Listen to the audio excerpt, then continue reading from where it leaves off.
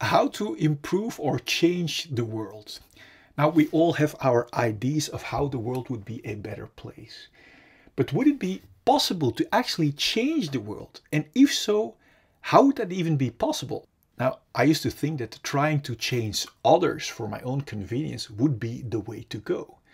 If they would change or behave the way I would prefer, I would live a comfortable life.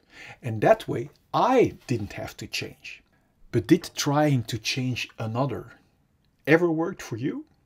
At least for me, it didn't at all. I only realized it doesn't work when others tried to change me all the time. It actually provokes an opposite reaction and isn't a nurturing ground for actually be willing to develop at all. So if trying to change others, even with the best intentions, works counterproductive, then how could we change the world for the better? Could changing ourselves really change the world for the better? And what does it even mean, changing ourselves? Do we not have to be able to stay ourselves all the time? And what does it mean being our true authentic selves? Imagine a complete dark room full of candles. And imagine you are one of those candles.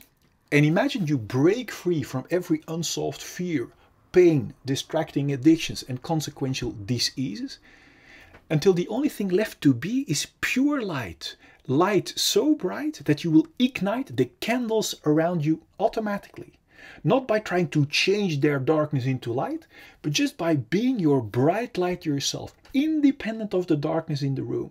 Do you think you would be able to change the entire darkness of the entire room into light just by becoming light yourself? Well, you are intended to be that light.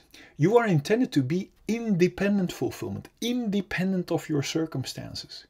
We don't have to fight darkness. It will only create more darkness and it will only make darkness more real. Darkness is only the absence of light, of your light. So now you know a person can change the world and that person is you. Now, to help you discover your unharmed and untouched light or your authentic self that you actually are, I have made four complementary videos to get you past every symptom of fear on your journey of flushing out the root of all your unsolved fear, your pain, your uh, distracting addictions, and consequential diseases that have been covering you or your light for way too long.